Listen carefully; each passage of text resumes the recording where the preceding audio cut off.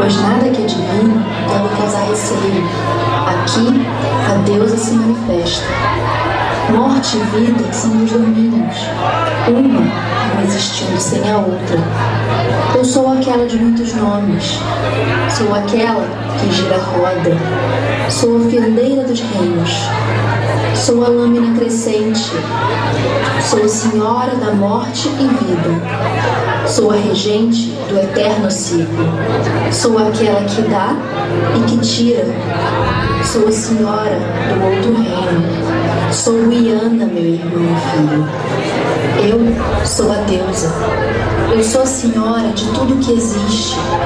Como regente da morte e vida, tudo mais é manifestação de minhas dádivas.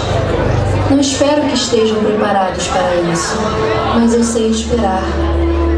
Todos os caminhos levam a mim, pois tudo que se faz na vida conduz para perto da morte.